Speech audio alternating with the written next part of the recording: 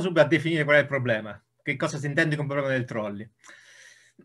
si intende una serie di esperimenti di pensiero nell'ambito dell'etica e della psicologia che coinvolgono situazioni dove un agente si trova ad affrontare due esigenze morali conflittuali, nessuna delle quali prevale sull'altra, quindi ecco il dilemma etico, e che si, si, si esemplifica nel, in questo caso nel sacrificare una persona per salvarne molte. Ora, le opinioni delle persone sull'etica di ciascuno scenario sono sensibili a dettagli che sembrano irrilevanti per il dilemma astratto. Il problema di formulare una teoria che potesse essere coerente con i differenti giudizi che sorgono nei vari scenari fu affrontato per la prima volta dalla filosofa Filippa Foot nel 1967. Oltre ad essere una notevole filosofa, questa è anche famosa per essere figlia, anzi scusate, nipote del presidente degli Stati Uniti, Grover Cleveland, che è stato, diciamo così, nella fine del XIX secolo, ha avuto due mandati. Quindi insomma è un personaggio famoso. Allora, questo problema fu denominato il problema del trolley da Judith Jarvis Thompson, un'altra filosofa famosa degli anni 70, in un articolo del 76 che ha avuto una grande rilevanza. Ora, eh, prima di tutto vorrei, diciamo così, esprimere il fatto che questi problemi del trolley sono, hanno subito de, de, delle critiche. Allora, diciamo, per una sorta di par condicio, diciamo quali sono, diciamo, se non altro da un punto di vista teorico, le critiche che vengono poste a problemi di questo tipo. Per esempio, si critica il fatto che lo scenario è troppo estremo e sconnesso a situazioni reali per essere utile o adeguativo, oppure che il freddo calcolo fatto su situazioni ipotetiche dove ciascuna alternativa risulta nella morte atroce di una o più persone è privo di empatia umana, e, di, e così via. Ora, l'utilizzo che viene fatto, a cui io mi riferisco, riguarda sostanzialmente quali sono le problematiche legate allo sviluppo del nostro cervello e come noi facciamo dei giudizi etici in maniera errata eh, qualche volta. E quindi, diciamo così, sono per questo, per questo motivo eh, più, che, più che accettabili. Insomma. In generale non voglio fare un resoconto decontestualizzato dello sviluppo del problema del trolley, ma vorrei analizzare quali sono le conseguenze morali e psicologiche che ne derivano. In particolare vorrei evidenziare come i nostri settaggi automatici, le nostre intuizioni morali ci ingannino. Ora, che cosa si intende per settaggi morali? Qui devo aprire un po' una parentesi. Eh, rifacendomi a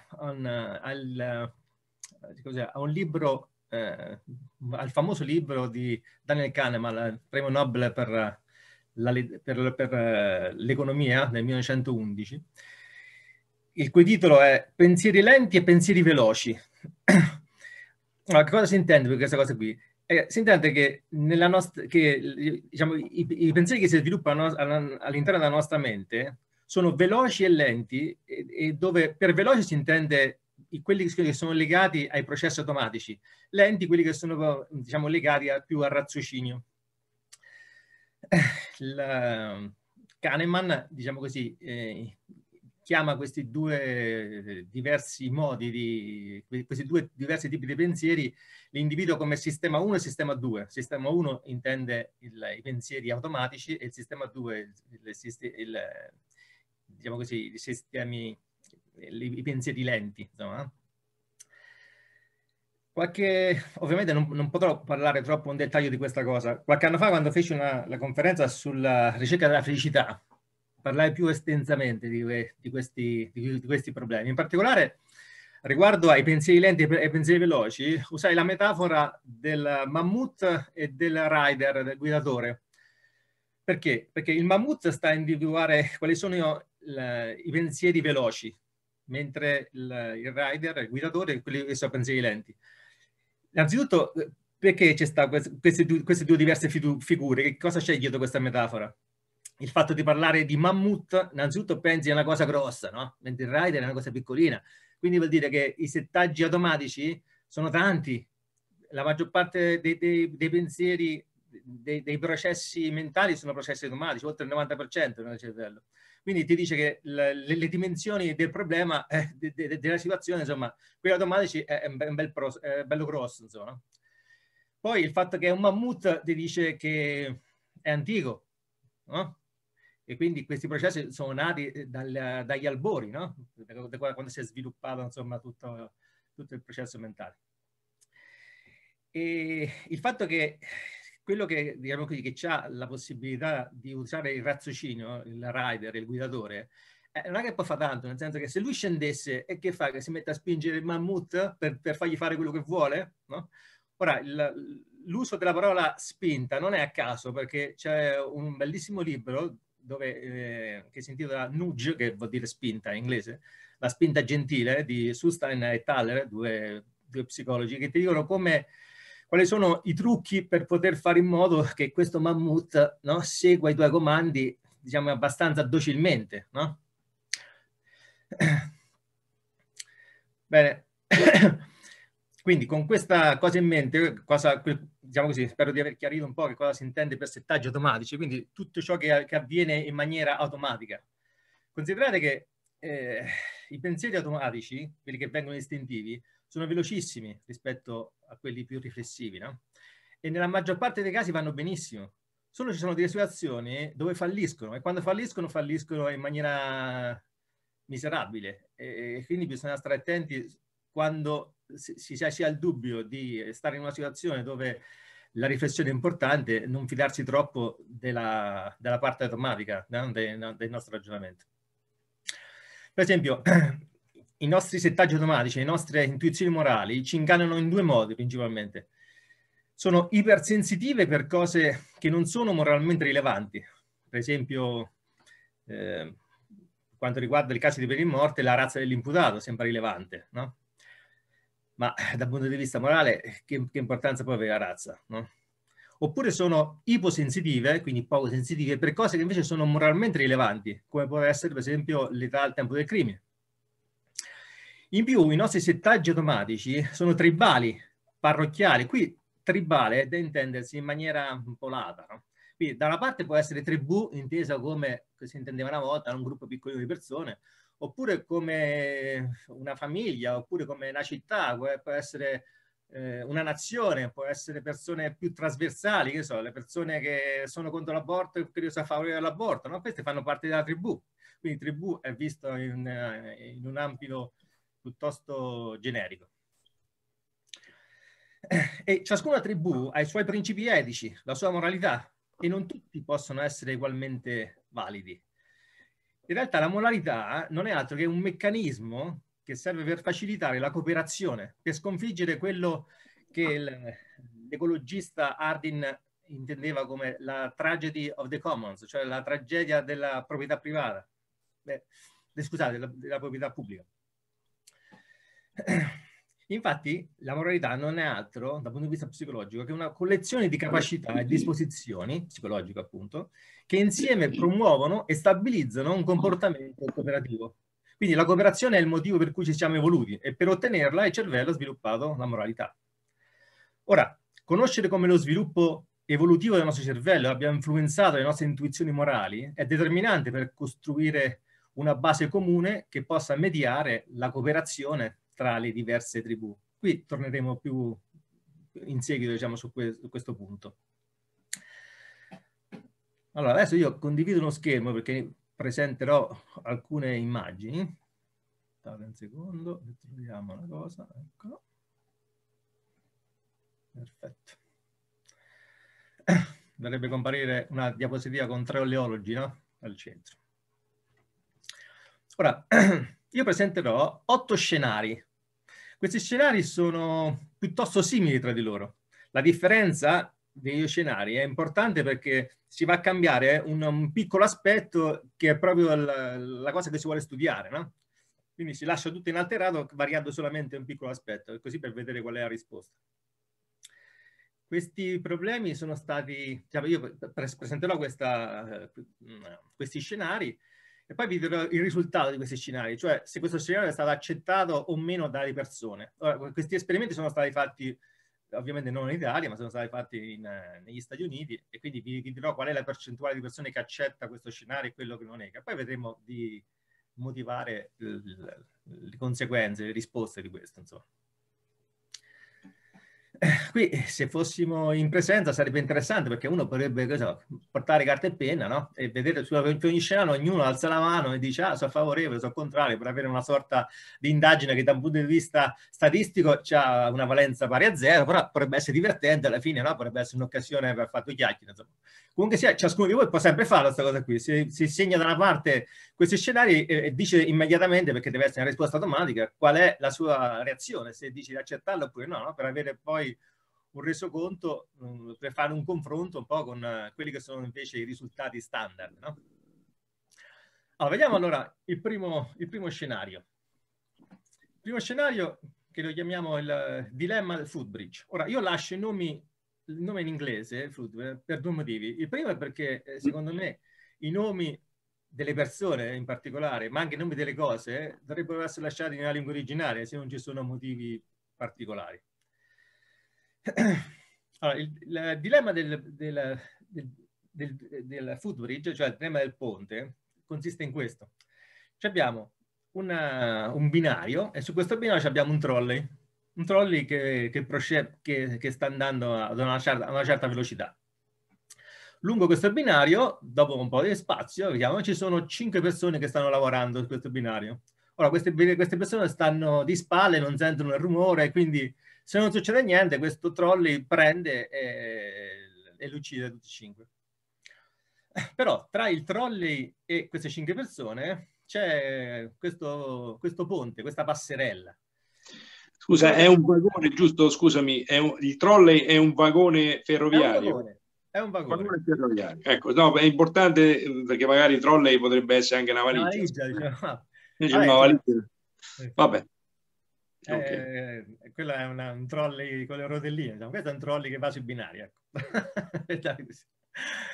allora, noi ci troviamo sopra questo ponte e davanti a noi, vedete dove sta questa banderina, c'è uh, un uomo che, sta, che ha una, uno zaino sulle spalle.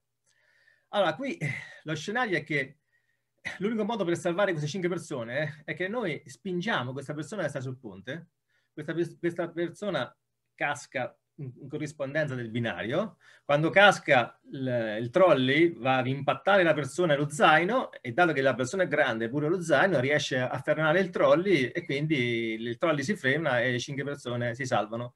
Però l'uomo che è stato buttato giù eh, eh muore, insomma. Allora, è moralmente accettabile salvare le cinque persone spingendo verso la morte questo straniero? Questo è il primo dilemma. No, no, no, no, mi oppongo. Dipende, dipende, chi è lo straniero. Chi è lo straniero questo qui? Allora, adesso, in questa situazione, eh, ve lo dico subito, insomma, non ci stanno nomi che, che, possiamo associare a queste persone, questi sono tutti incogniti.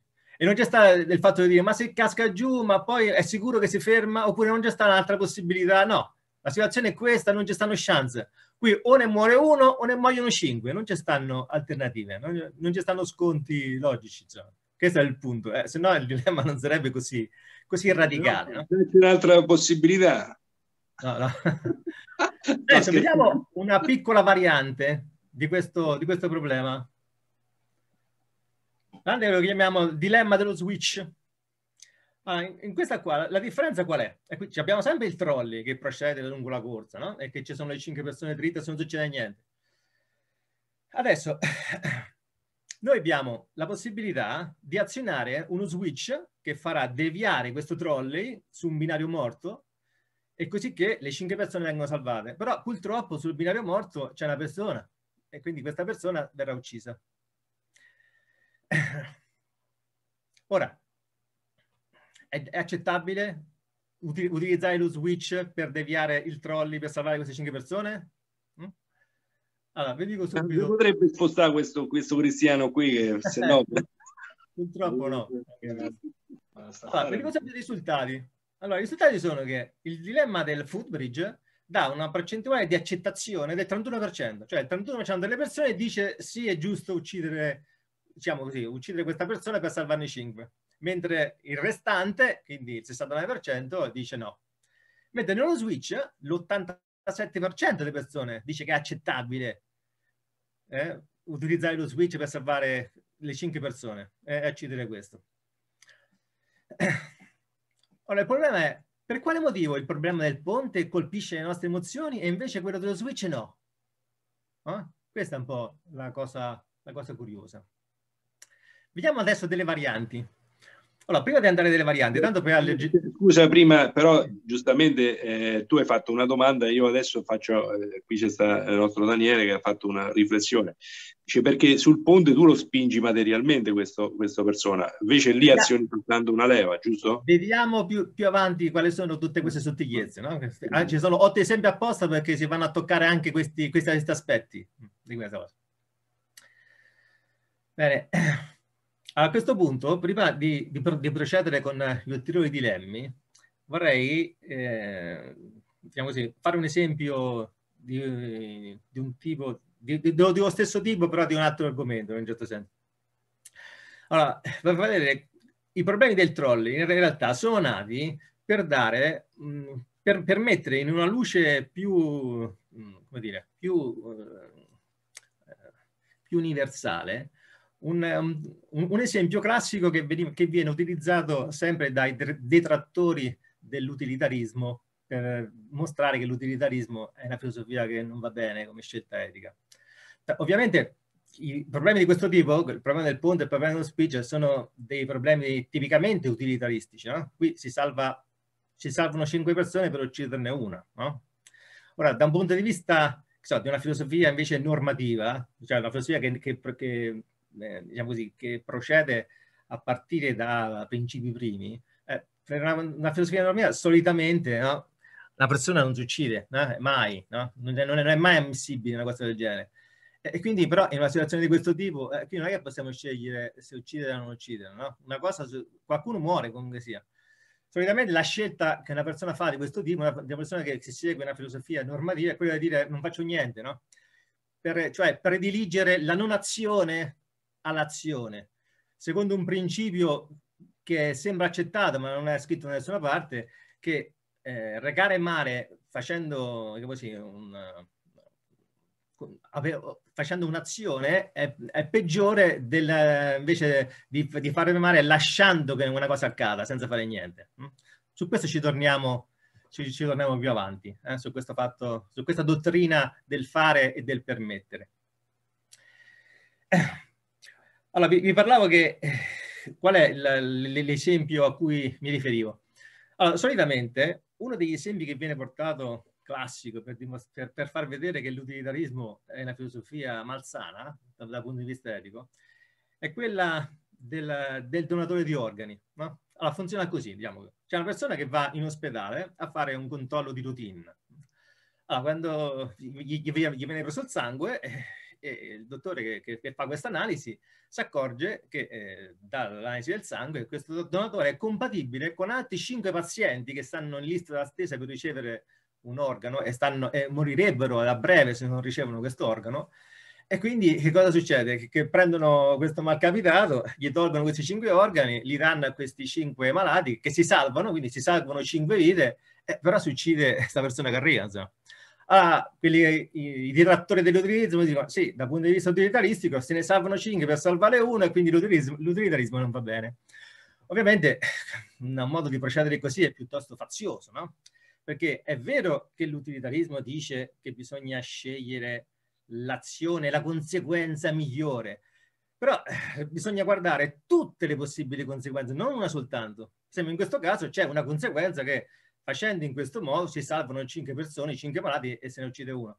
Ma c'è anche il fatto che se questa cosa avvenisse davvero, eh, una persona che va all'ospedale eh, non ci va più tanto volentieri, dice ma io mi potrebbe capitare una cosa come questa qua. E il danno che si fa per questo qua è molto maggiore di queste quattro vite che vengono salvate in più. Uno potrebbe dire, sì, ma potremmo tenere la cosa nascosta e quindi fare una sorta di di, di, congiura a livello che diventa sempre, via via sempre più grande, no? Però sa, innanzitutto le, queste sorte di congiure no? eh, sono, riescono a durare nel tempo eh, se sono costruite da poche persone e poi prima o poi si scoprono comunque sia. Eh, ci potrebbe essere una persona, un parente che va a cercarlo, sapeva che andava in ospedale e quindi come si fa a giustificare questa cosa qui? Allora sempre i detrattori dell'utilitarismo potrebbero dire, eh sì, ma allora sta persona non conosce nessuno, quindi è un povero disgraziato che non ha famiglia, non ha niente, quindi nessuno lo richiede, così via. E uno va avanti in questo modo cercando di sostanzialmente tirare fuori da questo esempio no, di tutte queste informazioni e astraendo alla fine ci ottiene un qualcosa che è simile al problema del trolley. In realtà il problema del trolley è stato è stata un'alternativa a un problema di questo tipo, perché qui sembrava che fare questo esempio con gli organi così fosse veramente molto, molto forte dal punto di vista psicologico, no? Mentre col problema del trolley si, diciamo così, si astrae un po' e sembra che il problema si possa esprimere in una maniera meno viziata, no? in qualche modo. Bene, ho fatto un po' una, una, piccola diversione, ho fatto un esempietto così per leggere un po' la, la lezione. Adesso riprendiamo con, con alcune varianti del problema del footbridge e del problema dello switch, che sono quelle basi, no? Quindi il footbridge è quella che colpisce sensi e lo switch invece è quello che non colpisce sensi. Bene. La, lo scenario successivo è quello che si chiama il problema del ponte remoto. Hm? Il problema del ponte remoto che ha una, una percentuale di accettazione comunque sempre abbastanza alta, eh, 63%. Allora, in che cosa consiste il problema del remoto? Eh, consiste sul fatto che noi ci troviamo con, su uno switch che sta lontano dalla vittima. Hm? Che sta lontano dalla vittima. E quindi con questo switch si riesce ad aprire una botola che si trova sotto a dove si sta la persona che ha lo zaino e questo lo lascia cadere sul ponte che blocca il trolley e via via quello che è successo prima, sostanzialmente. Quindi prima col footbridge si spingeva questo qui a terra e, non veniva accettato, solo il 39% accettava. Adesso con questo switch da lontano che, che fa questa botola sembra che la cosa sia più accettabile perché c'è, c'è un miglioramento no? nella percentuale di, di accettazione. Vediamo un'ulteriore variante. Il footbridge switch, un mix dei nomi stavolta qui. Ora, qui l'unica differenza è, è, come sostanzialmente quello di prima, solo che lo switch si trova vicino alla vittima. Prima ci troviamo lontano, adesso ci troviamo vicino.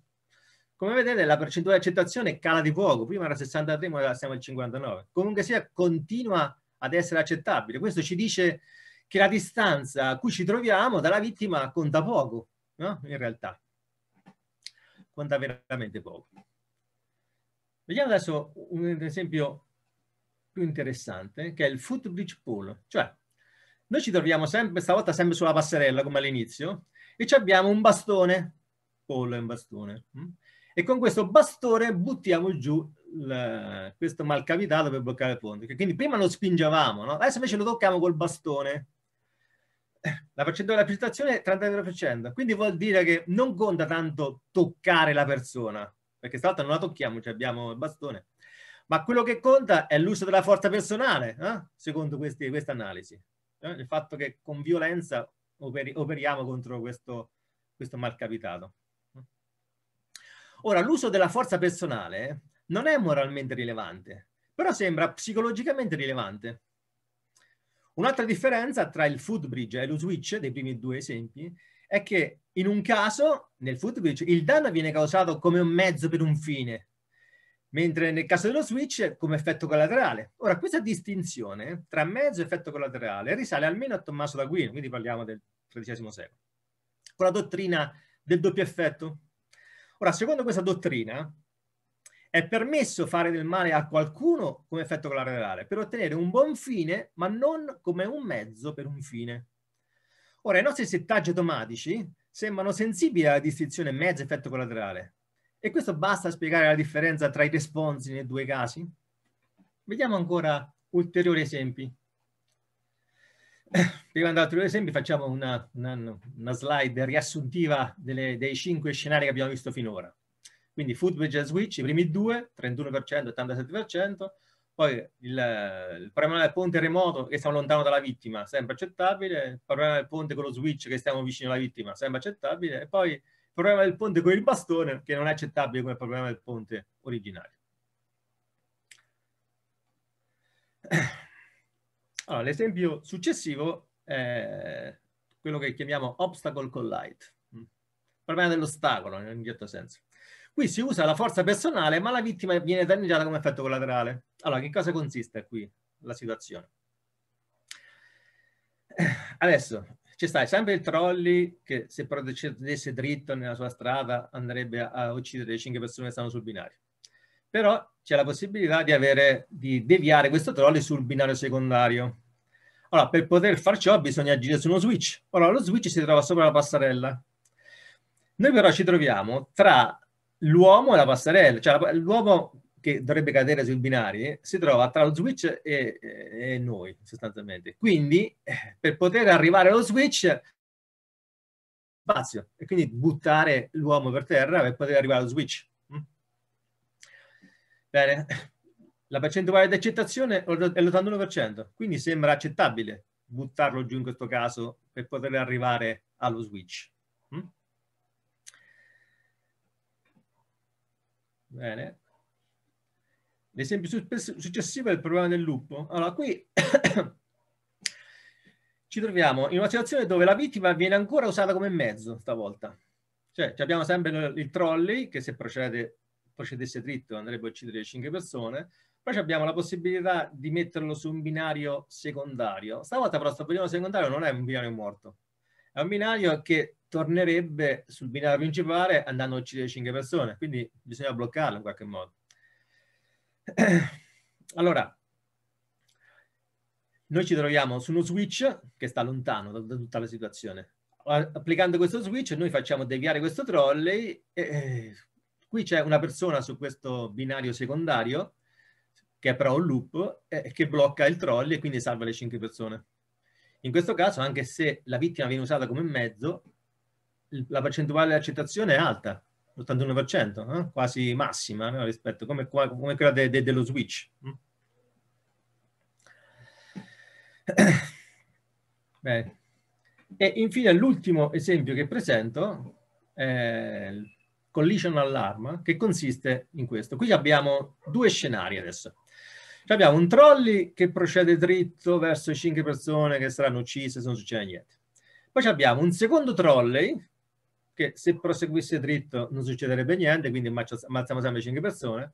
Se invece lo facciamo deviare su questo binario secondario, applicando uno switch, in questo binario secondario si va a colpire una persona che muore, però l'impatto va a colpire un sensore di allarma che blocca il primo trolley e quindi salva le 5 persone. Questa è un po' più complicata qui la situazione. Bene. La percentuale di accettazione è comunque alta, l'86%. Quindi complessivamente che cosa possiamo dedurre da, da tutta questa cosa? Che cosa c'è di strano? No? Allora, sembra che i due fattori che determinano il giudizio delle persone, eh, il giudizio istintivo delle persone, siano l'applicazione della forza personale e l'uso della, della persona come mezzo. Però sembrano inconsistenti perché la forza personale conta per il problema del footbridge switch conta il problema del, del footbridge con il bastone, però non conta nello switch contro il problema dell'obstacle con light. Mentre il mezzo, utilizzare la persona come mezzo, invece di, come, di utilizzarla come effetto collaterale, conta nell'obstacle collide contro il footbridge, però non conta con lo switch rispetto al loop al collision alarm. Quindi sembra che quello che è importante non è tanto il mezzo o l'usare la forza personale, ma la combinazione di questi due fattori. Quindi c'è un'intersezione. Quindi sembra che i nostri sensi non siano tanto affidabili. Ora, l'idea che uccidere qualcuno come mezzo sia peggiore che ucciderlo come effetto collaterale è largamente accettato. Ma la dottrina a doppio effetto non ha giustificazioni teoriche, a parte l'essere parzialmente accettata dai nostri sensi. Quindi Ciò ci dice che il nostro giudizio intuitivo viene prima e che la dottrina è solo un imperfetto resoconto dei nostri giudizi intuitivi. Quindi è il nostro intuito morale che giustifica il principio, non il viceversa.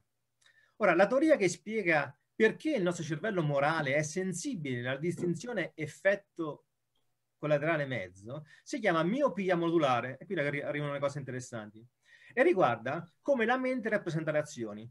Ora, il cervello ha un sottosistema cognitivo, un modulo, che monitora i nostri piani comportamentali e attiva un allarme quando contempliamo di danneggiare altre persone. Ora, questo sistema di allarme è miopico perché risulta cieco ai danni derivanti dagli effetti collaterali. Quindi siamo ciechi emozionalmente, ma non cognitivamente. Quindi vuol dire che siamo ciechi per il sistema 1, ma non per il sistema 2. Siamo ciechi per il mammut, ma non per il driver. Perché? Nel caso della nostra evoluzione, abbiamo acquisito la capacità di ragionamento e progettazione, che ci ha permesso di uccidere, per esempio, grossi animali con attacchi coordinati, oppure piazzando trappole, di costruire rifugi migliori, di piantare semi con l'intenzione di raccogliere frutti e così via. Ma questo ha aperto anche la porta alla violenza premeditata. La violenza ora non è più motivata da un motivo presente, ma viene utilizzata come un oggetto multiscopo per ottenere quello che si vuole. Ora, che c'è di male nella nostra capacità di violenza? Eh, non ci sarebbe niente di male se vivessimo isolati, ma viviamo in gruppi.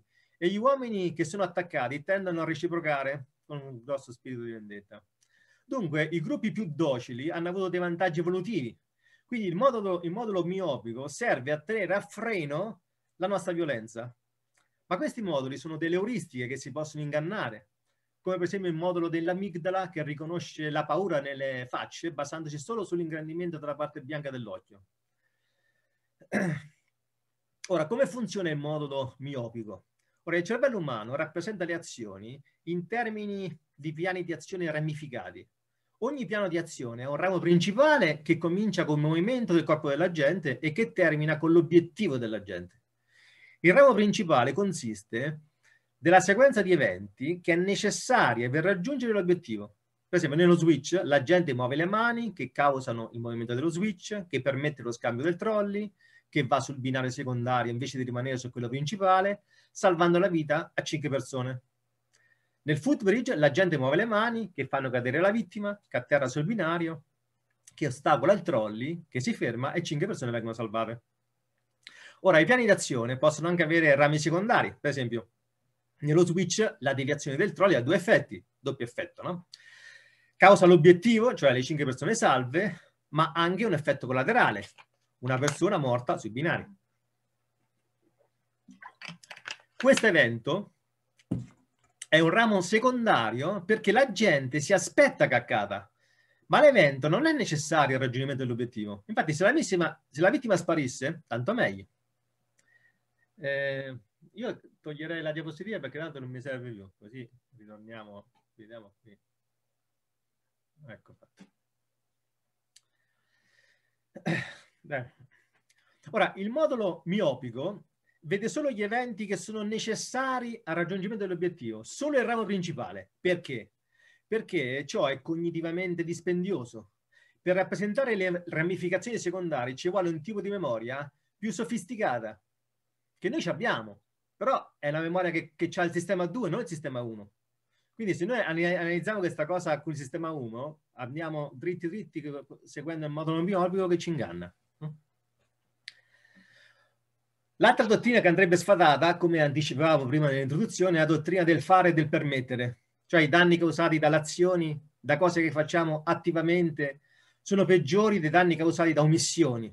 Per esempio, non è accettabile che un dottore termini la vita di un paziente attivamente, ma è accettabile se permette al paziente di morire in alcune circostanze. Ora, per un utilitarista, per un conseguenzialista, cioè però per uno per il quale contano le conseguenze eh, di un'azione, non c'è distinzione tra fare e permettere. Come nella distinzione mezzo-effetto collaterale, questa distinzione si giustifica solo in base ai nostri meccanismi cognitivi di base, che non hanno nulla a che fare con la morale. Per esempio, un animale deve prediligere le azioni alle omissioni perché le azioni sono relativamente poche, ma le cose che non si fanno sono troppe. Questo non vuol dire che il cervello non può pensare le omissioni, ma che esse vengono rappresentate in modo diverso. La rappresentazione delle azioni è più semplice ed accessibile. Cioè, in sostanza, per rappresentare le omissioni ci vuole il sistema 2, il sistema pensante. Ora, quando gli esseri umani distinguono le azioni dalle omissioni nei loro giudizi morali, questo è il risultato dei settaggi automatici e non è il risultato dell'applicazione di un fantomatica dottrina del fare e del permettere utilizzata dal modo manuale del cervello. Ora, ignorare la distinzione azione e omissione richiede molto modo manuale, molto modo razionale, perché le omissioni sono inerentemente astratte, mentre le azioni possono essere rappresentate in modo semplice. Per esempio, risulta facile disegnare qualcuno che corre, ma qualcuno che non corre? Qui non è che basta dice, dice disegno qualcuno che corre e mette uno che sta seduto. Eh no, quello è uno che sta seduto, non è uno che non corre. Uno che non corre è uno che non fa qualunque cosa che non consiste nella corsa. È più complicato, no? Inoltre le azioni hanno una rappresentazione sensoriale naturale, anche motoria. Per esempio, se noi leggiamo le parole leccare, prendere, calciare, automaticamente attiviamo delle zone della corteccia motoria che controllano rispettivamente la lingua, le dita, i piedi, ma non c'è nessuna parte del cervello adibita a rappresentare le azioni che non coinvolgono la lingua, per esempio. Quindi le omissioni, al contrario delle azioni, non attivano alcun responso emotivo. Quindi la distinzione tra azione e omissione non ha nulla a che vedere con la moralità, ma è semplicemente un sottoprodotto cognitivo. Allora, qual è la conclusione di tutto questo discorso? Ora, essere ragionevoli ed aperti al compromesso non è abbastanza per risolvere quello che viene denominato il problema della tragedia della morale e del senso comune. Eh, adesso faccio un'altra chiacchiera tanto per alleggerire un po' il discorso. Che cosa si intende con questa tragedia della morale e del senso comune? Abbiamo visto che la moralità serve per risolvere il problema, la tragedia della, della proprietà pubblica. Eh? Ora, eh, ciascuna morale, in realtà, non, non, è, non, possiamo dire che c'è una morale che è migliore dell'altra, hm? perché ciascuna ha avuto il suo scopo, cioè quello di garantire le, la collaborazione tra le persone. Eh, se vogliamo fare un, un, discorso di merito, bisogna introdurre una sorta di valuta condivisa per, poter, per poterle valutare. Non possiamo di, solamente dire questo la pensa diversa da noi e quindi sbaglia, eh? la sua morale è errata. Allora, questa cosa viene semplificata con, con la tragedia della morale del senso comune. Allora, la, tra- la, tragedia la possiamo esprimere facendo questa storiella. Allora, supponiamo di avere, di avere quattro quattro tribù di, eh, di allevatori di bestiame, no? quindi che vivono in maniera abbastanza semplice. E queste quattro tribù vivono tra di loro separate, stanno vicine ma sono, sono, sono separate. In realtà sono separate da un bosco no? molto grande. Quindi abbiamo nord, sud, est e ovest queste quattro tribù e tra di loro c'è stato un bosco enorme che, che così, così, fitto che non permette quindi la comunicazione tra queste, tra queste tribù. Allora, queste tribù come si comportano? Allora, abbiamo a, a est una tribù dove, eh, diciamo così, eh, vengono allevati tutti gli animali in comunità e ciascuna famiglia di questa tribù ha lo stesso numero di animali. Ovviamente la, quando c'è stato un, qualche, un qualche evento di, di divisivo c'è una sorta di consiglio che derime un po' questi problemi Qui il problema è che dato che il, ciascuna famiglia eh, ha lo stesso numero di, di, di, di, animali e ci sono famiglie che sono molto numerose, altre meno, quelli che hanno meno hanno più animali, quindi qualcuno si lamenta per questo, però alla fin fine questo tipo, questa, questo tipo di, strategia ha avuto il risultato che queste, questa tribù si è sviluppata e quindi eh, ecco, ha, collaborato, ha collaborato alla fin fine. Insomma, no?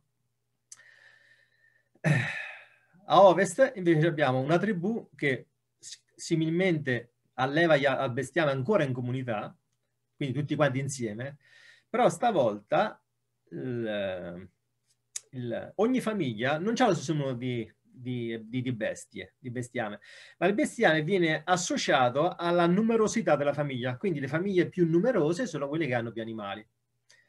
Eh, qui potrebbe capitare qualche volta che, so, che uno riceve una, una, disgrazia, muore qualche elemento della famiglia e quindi devono anche disfarsi di un po' di animali perché sono un numero inferiore, no? E quindi si lamentano un po' in qualche modo. Quindi anche qui ci sono delle cose da dirimere. Quindi c'è stato un comitato che viene eletto da, dai capi tribù, diciamo, capi famiglia, diciamo, che dirime un po' queste questioni.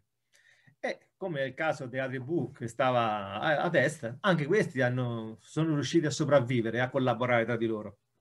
Poi abbiamo a nord un'altra, un'altra tribù, anzi scusate, prima facciamo la sud, facciamo la tribù che sta a sud, che è la tribù dove la comunità viene portata a livello estremo, perché qui non solo gli animali stanno insieme, ma anche tutte le famiglie vivono insieme, è tutta una grande comunità. Mm?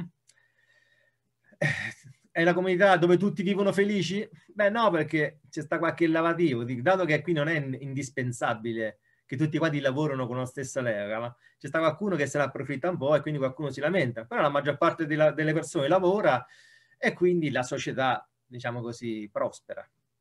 Anche qui c'è un, un, consiglio che ovviamente è ancora più corposo delle altre due situazioni, perché qui è tutto in comunità, no?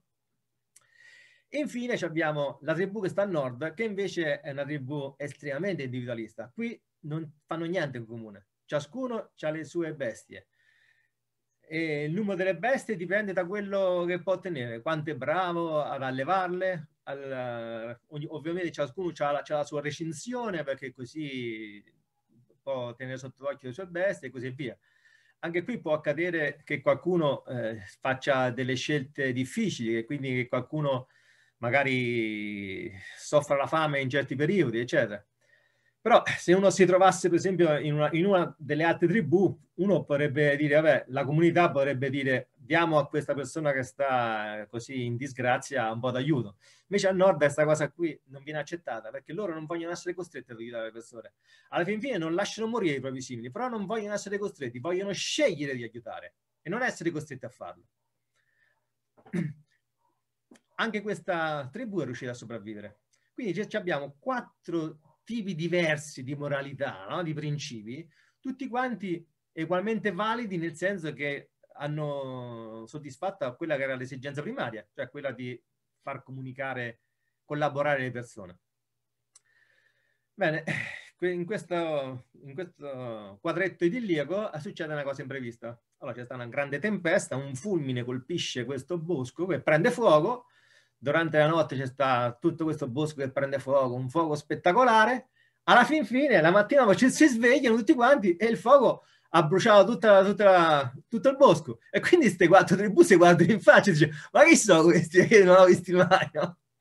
Allora, in, part- in, particolare, al centro di, di, questa situazione, immaginata da un punto di vista geografico, al centro eh, c'è sta un sacco di terreno fertile, libero, da, da, da poter fare. E allora che cosa succede? Quelli del sud fanno, no? Dai, stiamo, tutti, siamo tutti una famiglia, no? Dividiamo questa cosa qua e andiamo tutti quanti, quindi ce lo dividiamo tra tutti quanti. Qui al nord dice, ah no, eh no, ognuno fa per sé. Quindi ognuno va là, quindi la mattina si sveglia e ciascuno allarga un po' suo, la sua recinzione per, per, mettere più terra, no? E così via. Eh, magari capita che, dato che quelli del sud vogliono occupare tutta la terra, c'è sta qualche animale che finisce nella zona di uno di quelli del nord e questa la catturano, no? Eh, quelli del sud per ripicca vanno là e distruggono la recinzione quelli del nord tornano indietro, vanno al sud e catturano due bestie, quelli, del sud fanno la spedizione di pulizia e così via. Per farla breve, eh, da qui a scoppiare una guerra ci vuole poco, no? una considerazione di questo tipo. A rendere le cose ancora più complicate è che in lontananza si vede una piccola nuvoletta, no? arrivano un po' di persone, un po' malcapitate, con un po' di animali, un po' tutti i mezzi deperiti, e dice, ah, possiamo partecipare, possiamo venire anche noi, no? perché veniamo da una terra lontana, non abbiamo non sappiamo che fa, no? Eh, quelli del sud dice, beh, mettiamoci insieme, tanto lo spazio c'è, quelli del nord, ah no, noi stranieri non li vogliamo, no? Così. Mentre succedono queste, queste, questa diatriba, si vede un altro nuvolone grosso, una grossa tribù che arriva, no? Quando arriva al centro, pianta una bandiera al terra e fa, dice, questa è la terra nostra promessa. Tutti quanti li guardano, ma che sta a dire? Come la terra nostra? Ma dove sta scritto? Ma come sta scritto? Sta scritto sui nostri libri sacri, no? E così via. Ah, questo Scusate, c'è sta...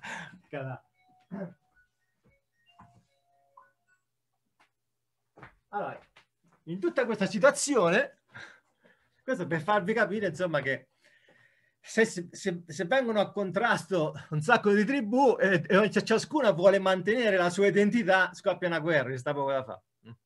E questo è quello che si intende per la tragedia della morale del senso comune. No? Spero di aver reso la cosa più chiara, no? Con un esempio, un esempio lampante. Adesso vediamo cosa ci facciamo.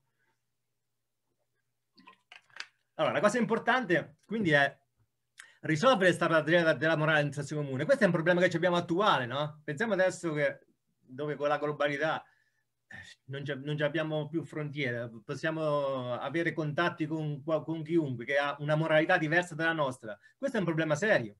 Che non possiamo affrontare dicendo loro rimangono a casa loro o loro, loro sono selvaggi e noi no, no, perché è una cosa che non funziona così. Allora, quello che ci vorrebbe è una filosofia morale esplicita e coerente che ci faccia da guida quando non ci possiamo fidare dei nostri sentimenti. Ma come ci accorgiamo che dobbiamo smettere di fidarci dei nostri sentimenti? Beh, innanzitutto quando c'è una controversia, quando intere tribù sono in disaccordo.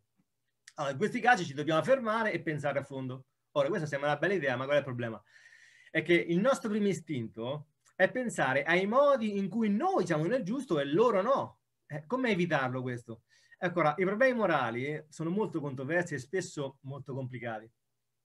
In un mondo ideale ci trasformeremo tutti in esperti e faremmo i nostri giudizi in modo consapevole. Questa sarebbe la cosa perfetta. Ma poiché questo non avverrà mai, come i socratici dobbiamo cercare di diventare più saggi ammettendo la nostra ignoranza. Allora, qui vi do un paio di indicazioni, non è che se l'ho inventato io, insomma, un paio di indicazioni, diciamo, che aiutano quindi a dirimere un po' questa tragedia della morale del senso comune. La, la prima strategia è quella che viene chiamata l'illusione della spiegazione profonda. Cosa si intende per questo? Ora, le persone di solito pensano di capire come funzionano le cose, anche quando non lo sanno. Prendete ad esempio la sanità, ma anche cose più semplici come la toilette, la zip, eccetera. Ora, il modo migliore per far sì che il nostro modo manuale ci avvicini, quindi il sistema 2, non è forzare le persone a giustificare le proprie decisioni con ragioni esplicite, perché se noi forziamo le persone uh, a prendere decisioni, sostanzialmente queste persone ci raccontano un sacco di stupidaggini. Hm? Adesso vediamo perché. Ma forzare le persone a confrontarsi con la propria ignoranza dei fatti essenziali. Questo ci rende più moderati. Infatti il nostro problema è che noi siamo degli ottimi confabulatori. Ora, la confabulazione consiste nell'inventare storie in qualche modo. Allora, queste cose qui, anche quando feci sempre, citando la, la lezione fatta sulla ricerca della felicità, queste cose sono state scoperte negli anni 60 studiando i pazienti che avevano il corpo calloso reciso. Quindi recitando il corpo calloso, le due parti del cervello, sinistra e destra, vengono separate e la persona sostanzialmente ha due personalità distinte, due persone completamente distinte. Ora, il, il, punto è che ci sono delle cose che noi facciamo con una parte del cervello e delle cose che facciamo con un'altra.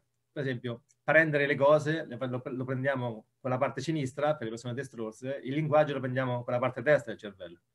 Ora, in certe situazioni, eh, per dare una spiegazione dobbiamo utilizzare il linguaggio, quindi è la parte destra che, sa, che, che, che può dare delle spiegazioni, no? Ma se l'azione l'ha fatta la parte sinistra, non ne sa niente la parte destra di quella fatta la sinistra. Cioè, se la mano sinistra ha preso una mela, per dire, eh, la testa che si va a inventare non lo sa perché. Allora si deve inventare la storia e la confabula.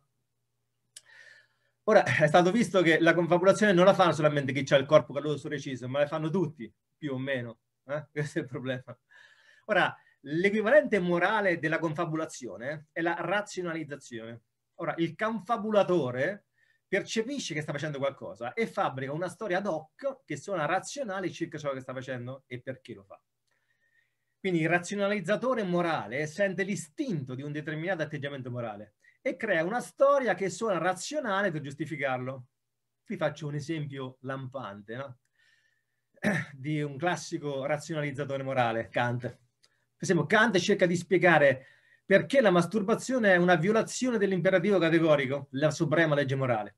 Ora, rifacendosi alla dottrina del doppio effetto, deriva che certe azioni sono sbagliate perché coinvolgono l'usare qualcuno come mezzo, in questo caso se stessi. Ora, chi non condivide i costumi sessualmente repressi di Kant, come Nietzsche, si diverte all'idea di Kant di derivare l'immoralità della masturbazione dai principi astratti. Cioè Kant ha gli stessi automatismi della tribù che lo circonda, ma lui sente la necessità di provvedere ad una esoterica giustificazione per i propri pregiudizi popolari. Tanto per inventarsi esoteriche giustificazioni, Kant elabora pure una teoria per giustificare la superiorità, la superiorità dei bianchi e l'inferiorità dei neri, per esempio, che chiama i nostri schiavi, tanto per fare un esempio. La seconda strategia per poter aiutare nel problema della, della tragedia del senso comune è quello di evitare di ricorrere ai diritti. Allora, il ricorrere ai diritti per dirimere una questione morale funziona un po' come un jolly che rende l'evidenza irrilevante. Ora, si può sempre invocare un diritto che corrisponde ai nostri sentimenti. Nel caso dell'aborto, per esempio, i pro-life, cioè quelli che sono contro, invocano il diritto alla vita. Quelli che invece sono a favore, i cosiddetti pro-choice, invocano un diritto di scelta. Eh, se eh, mettiamo contro il diritto alla vita e il diritto di scelta, eh, questo si, si, si, si cozzano contro l'altro e basta, non c'è sta dialogo. Mm. Ora, i diritti doveri sono le armi perfette per i moderni dibattiti morali. I nostri settaggi automatici seguono comandi morali che ci dicono cosa deve essere fatto, quindi diritti, e cosa deve diciamo, cosa non deve essere fatto, quindi il, dir- il, il, diritto, e cosa invece deve essere fatto, quindi il dovere. Per esempio, nel, nel dilemma del footbridge abbiamo diritto alla vita, nello switch i diritti dei cinque superano quelli della vittima. Ora, i diritti e i doveri ci permettono di presentare i nostri sentimenti come fatti non negoziabili. Ora, appellarsi ai diritti evita quindi quel duro lavoro di provvedere ad una reale giustificazione per quello che vogliamo. Ora, perché appellarci al fatto che si promuove un bene più grande e differente? Quindi quando mi, dico, mi riferisco a questo mi riferisco all'utilitarismo, quindi no? avere quindi delle buone conseguenze. Perché questa affermazione può essere giustificata con l'evidenza. Per esempio, stabilire se una certa politica incrementa o no la felicità, ad esempio, è una questione empirica. Se uno invece dice che l'assicurazione sanitaria migliorerà o distruggerà la sanità, ora questo si riferisce soprattutto alla sanità americana, ma questo si può, si può riportare alla sanità di qualunque paese. E uno dovrebbe avere evidenza di questo. Anzitutto tutti dovrebbero capire come funziona l'assicurazione sanitaria, poi valutare come i diversi sistemi di sanità funzionano e che risultati hanno avuto in altri paesi.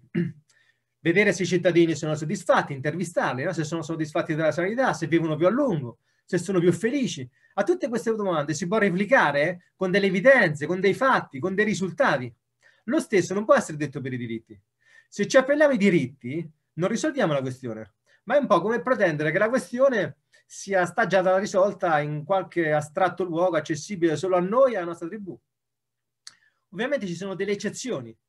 Ora, discutere sui diritti non porta da nessuna parte quasi sempre, ma a volte anche il discutere è senza senso.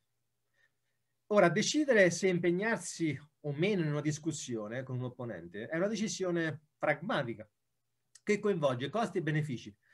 Alcuni argomenti non meritano di essere discussi. Per esempio, alcune persone ritengono che i neri meritino di essere schiavizzati, che alcune donne meritano di essere violentate e così via. Questi argomenti non meritano di essere discussi perché fanno parte di un senso comune che pur non essendo universale è però comune abbastanza per pratici scopi politici.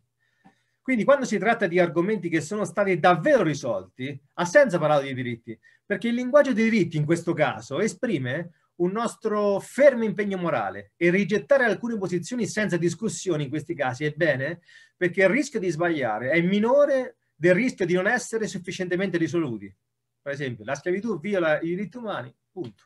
Fine della discussione. Quindi concludendo, noi vorremmo una teoria morale che desse la stessa risposta dei nostri settaggi automatici. Cioè vorremmo trovare una teoria che ci dica che le nostre intuizioni sono corrette e perché lo siano. Cioè una teoria che organizzi e giustifichi le nostre sensazioni emotive. Per dirla in termini rawlsiani, da John Rawls, famoso eh, politologo e filosofo del XX secolo, vogliamo trovare un equilibrio riflesso nel quale la nostra teoria morale si accordi con i nostri giudizi emozionali. Ma le nostre reazioni emotive non si sono sviluppate per essere organizzate e non necessariamente per servire come fini morali affidabili. Se noi filtriamo le nostre intuizioni morali prima di organizzarle, eliminando le intuizioni prevenute, i cosiddetti bias, probabilmente si finisce con qualcosa tipo l'utilitarismo. Perché? Perché le obiezioni valide contro l'utilitarismo dicono che in certi casi esso fornisca delle soluzioni intuitivamente errate specialmente nei casi astratti. Ma si è visto che queste intuizioni anti-utilitaristiche in realtà sono sensibili a cose moralmente irrilevanti. Inoltre, che vorrebbe dire che le nostre intuizioni morali sono sensibili a cose moralmente rilevanti invece. Eh, una possibilità è che esse servano a promuovere buone conseguenze e questo sembrerebbe suggerire che i nostri settaggi automatici siano degli strumenti utilitaristici imperfetti perché danno buone conseguenze. No? Oppure che significa invece che i settaggi automatici sono sensibili a cose moralmente rilevanti ma che non producono proprio conseguenze? Eh, un pensiero naturale è che se riflettano cose come i diritti. È male buttare un uomo dal ponte perché viola i suoi diritti. Ma come possiamo sapere se questo è vero senza una teoria indipendente e non utilitaristica, cioè una che deriva da assiomi morali autovidenti? E se invece i diritti siano solo una copertura per le nostre reazioni emotive? Quindi né descrivere i nostri settaggi automatici, né provare a dimostrare che sono corretti sono approcci filosofici che possono risolvere i, moderni problemi morali no? della tragedia della morale del senso comune. L'unico modo sembra quello di trascendere le limitazioni dei nostri settaggi automatici e lasciare il problema in mano al modo manuale, eh? al sistema 2. Quindi non fidarci delle nostre sensibilità morali tribali, né cercare di razionalizzarle, ma di cercare dei valori comuni, una sorta di sistema di valuta condivisa, che al momento sembra non possa essere altro che l'utilitarismo. Beh, io ho concluso qui.